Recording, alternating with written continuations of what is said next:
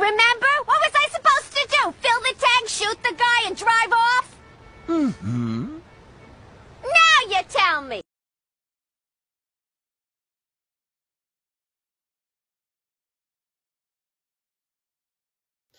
Hey folks, this is Jeff for This Week with JTT, and it looks like we lost another one.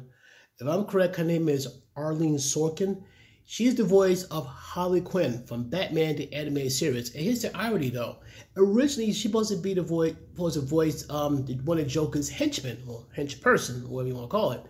And the performance she put on is in such a way, you know, she's been seen in many, many other like episodes of Batman the Animated Series, other um, DC Comics movies, and other um, cartoons. It's incredible, and how character became so popular that you know, there's some actresses that did like live action, but the one, of course, that took it and ran with it was Margot Robbie when she was there for the Suicide Squad 1 and 2. And a brief appearance, I think, for.